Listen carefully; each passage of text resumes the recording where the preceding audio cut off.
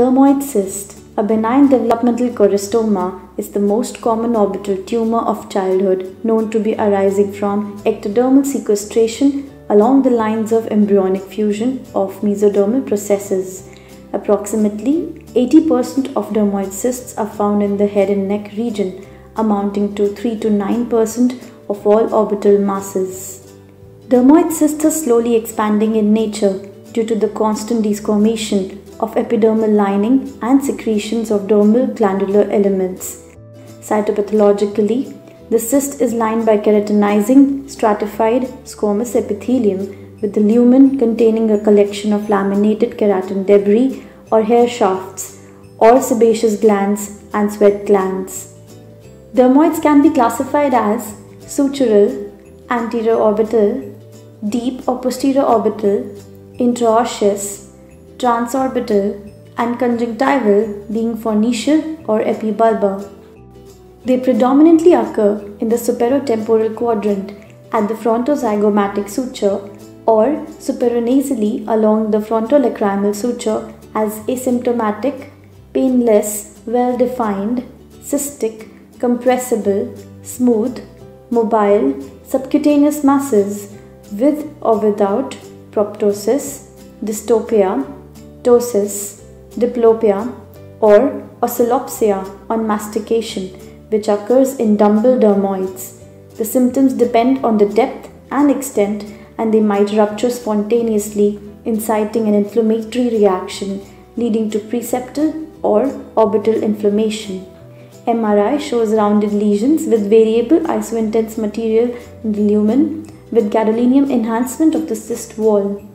CT scan with bone window is necessary to outline the bony involvement for a decision on the most appropriate surgical approach, especially in posterior dermoids and dumbbell or hourglass dermoids. Conservative observation may be adopted as these cysts are small, asymptomatic, and not a cosmetic blemish. However, with functional and cosmetic implications and the possibility of spontaneous or traumatic rupture, surgical excision becomes the treatment of choice. The ideal goal of such surgery is complete removal without rupture.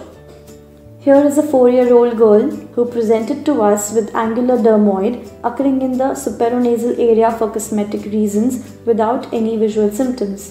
A skin incision is marked over the site of dermoid after palpation along the relaxed skin tension lines. The skin incision is made with an 11 number Bard Parker blade and anterior layers are dissected with a blunt tenotomy scissors. Change in the section plane is evident by the change in color.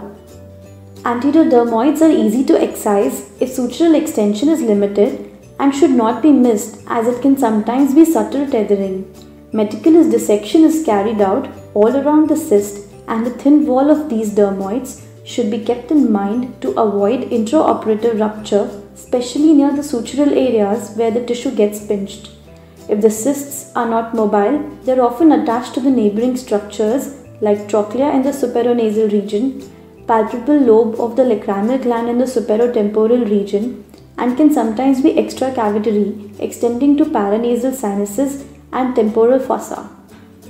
After dissection of all the peripheral adhesions, the lesion is securely prolapsed anteriorly with cryostabilization and the pedicle is dissected out.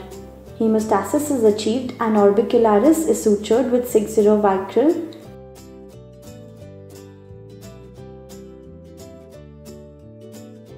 and skin is sutured with interrupted 6-0 silk sutures keeping cosmesis in mind. Complications like periosteal or sutural tether, bony erosion, fistula formation and risk of intraoperative rupture should be borne in mind. Surgical management for different dermoids is individualized. Here are a few examples of different methods of surgical resection. Posterior or deeply seated dermoids cannot be easily excised completely and can cause continuous bony destruction and recurrent inflammation. In such cases, marsupialization of the dermoid with meticulous removal of the epithelial lining is the recommended alternative. While extensive surgery with en bloc excision is an option, a recent alternative for dumbbell dermoids can be minimally invasive foam sclerotherapy with an anionic surfactant sodium tetradecyl sulfate with a concentration of 30 mg per ml. Under local anesthesia, the perimeter and epicenter of the lesion are marked and a wide bore 18 gauge needle is used to aspirate out the contents of the cyst ensuring complete collapse. Here 4 cc of contents were aspirated and 1 cc of sodium tetradecyl sulfate was taken for foaming it to 2 cc by modified Tessari tourbillon technique. While the foam is being generated, the needle should be kept in place within the lesion. The sclerosant of desired quantity is then injected. We have seen excellent aesthetic results with this technique. To conclude, orbital dermoids if stable can be observed with patient counseling and reassurance. If surgery is essential for cosmetic and functional indications, these are ideally treated with complete excision wherever possible with an aesthetically appropriate approach. And when complete excision is not feasible, adequate measures must be taken to avoid recurrence.